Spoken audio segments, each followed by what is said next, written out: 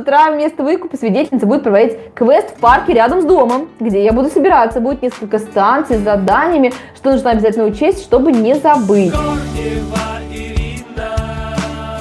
А, ну, во-первых, э, насчет квеста. Чем отличается в данном случае квест от выкупа? Первый вопрос. А, только названием или там прям вот есть какая-то логика действий, и эта логика действий э, не подразумевает встать в таз, э, найти губы, губы целовавшего листок и там, это, ну, там, и так далее. То есть вот это вот э, самый важный вопрос, на что, на что вам нужно ответить, и понять для себя, а что, что такое квест, и чем он отличается от обычного выкупа. Ну, локация еще чем.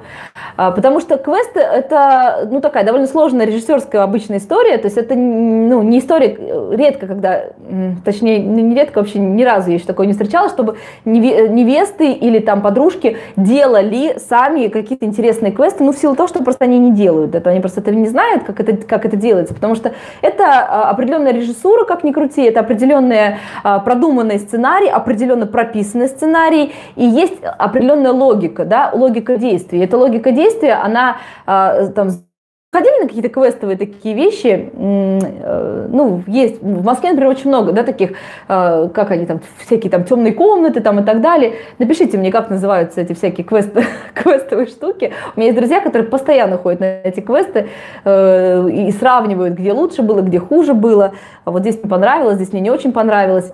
Так вот, если посмотреть на все эти квесты, они очень такие продуманные, очень режиссер, э, срежиссированы хорошо и правильно, срежиссированные. То есть это не просто э, станции с заданиями да, какие-то, это э, срежиссированная какая-то э, история с дополнительными героями, с какими-то дополнительными персонажами, э, с логикой определенной.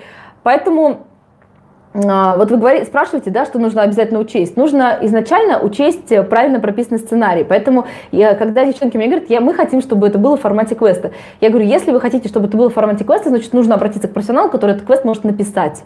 Потому что если мы говорим про квест из интернета, то это не квест. Это просто, это просто задание, это выкуп там, и так далее. Это не квест. Это нужно написать э, быть, в вашем случае действительно а, вы написали его, и он крутой, очень классный, и возможно, возможно, я не знаю, потому что я же его не видела и не могу, не могу сейчас ничего сказать, возможно, но а, а, за какой-то консультацией людей, которые этими квестами занимаются, я бы на вашем месте обратилась бы. Но если хочется реально, чтобы это был прям вот квест, чтобы это было что-то суперинтересненькое. Корнева